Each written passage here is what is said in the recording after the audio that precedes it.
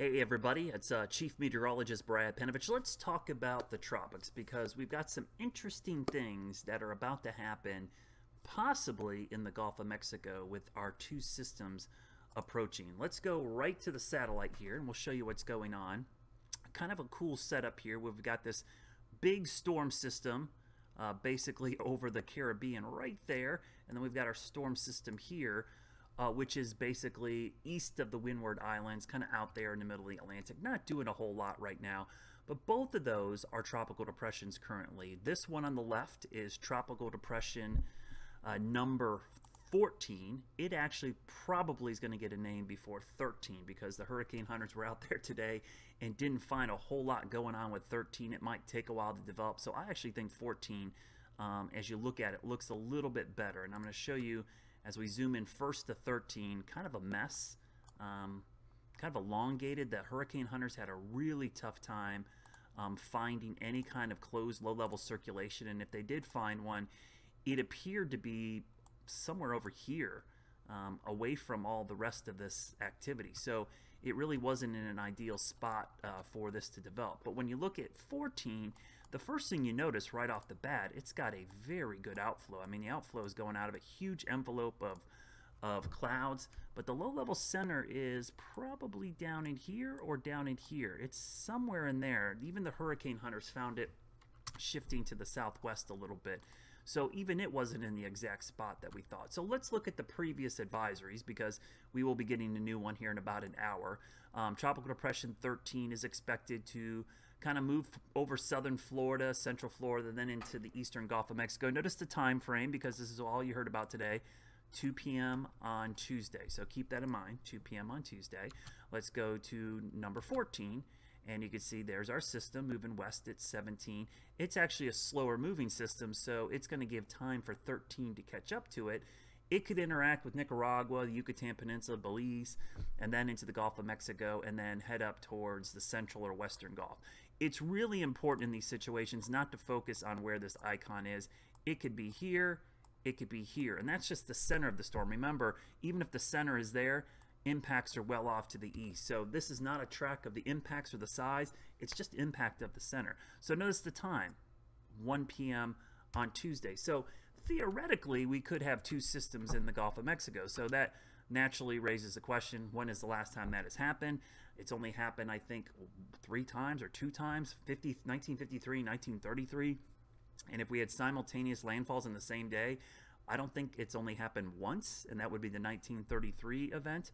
So, but I'll tell you why I don't think that's exactly going to happen because um, I think these things are going to be timed a little bit differently. I'm going to stop this right about here. I noticed some of the guidance coming in tonight is a little bit slower with Tropical Depression 13. Um, it's it's slowing down a little bit in the long range on the guidance, whereas 14 is up in here. So they may not enter the Gulf at the exact same time. And I think the timing is going to change quite a bit. Remember, we're looking at a seven day forecast here. So the chances of this lining up perfectly seven days out, probably slim and none. But there is a chance that we could have two systems in the Gulf. The question is, what happens when they get in there? Um, so we'll go through Wednesday. Um, the first thing people ask me today is, you know, I think they watch too many sci fi movies and think, is this going to become kind of su a superstorm? That's not the way it works with tropical systems. In fact, what happens to tropical systems is what happens here. It's something called the Fujiwara effect.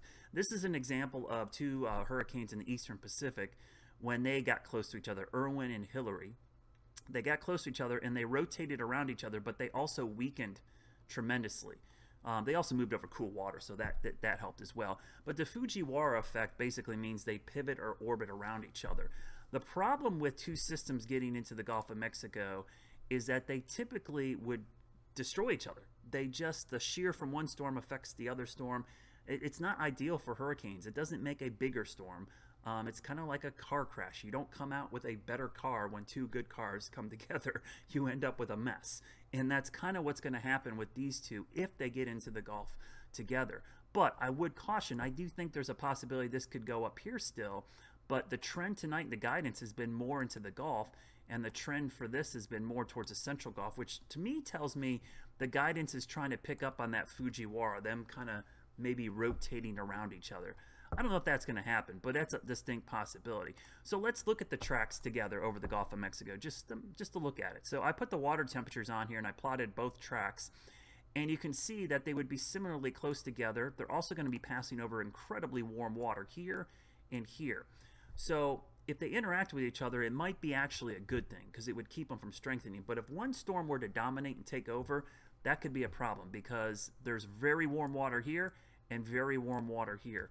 If either one of these storms can get their act together first, it has the potential to be a significant hurricane and likely deter the other one from doing much. But that's a lot of buts and a lot of ifs.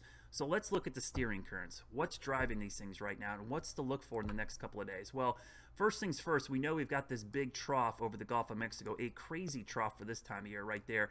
And we've also got this high right there. I don't know why I put a, a low there. This high is interesting. It's going to be building west over time. Kind of sits there, then starts building west. I don't know why it jumped back east there. Um, and I think that kind of blocks it from going north up the east coast. And one way we'll know if this happens or not, and for, folks in the Carolinas watching me, if we start getting hot temperatures Sunday and Monday, we know this ridge is building over us.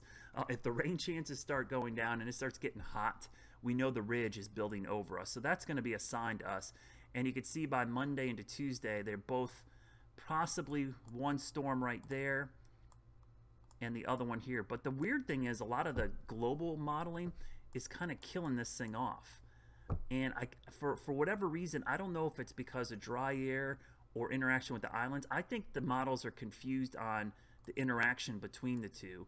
And what happens is one run of the models, it goes gangbusters with this. The next one, it goes gangbusters with this and cancels this one out. So I think it's having trouble resolving the energy of the two.